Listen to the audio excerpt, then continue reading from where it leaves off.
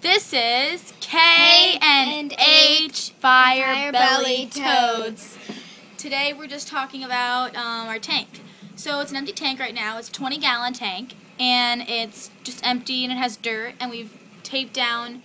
We just taped on the background, the It's like a rainforest type thing. Yes, and um, Kay has something to tell you guys about what we're gonna put. It's a special thing.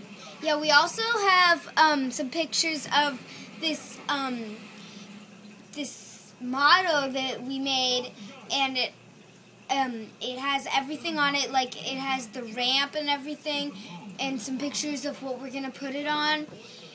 And then also tomorrow we're going to go to Petland or to PetSmart, PetSmart. and we're going to um, get some like neon colored rocks and stuff, and we'll probably like take a video of it while we're there and like Yeah. show you all the frogs when we pick out the frogs. Yeah, it's, and it's then gonna be really cool. after um, that, when we actually get the frogs, I'm going to tell you. We're gonna make a video of how to tell the gender. Yeah, it'll be really frogs. awesome, guys. So just enjoy the pictures. Uh, So just enjoy these pictures and everything, guys, and I hope that you like them.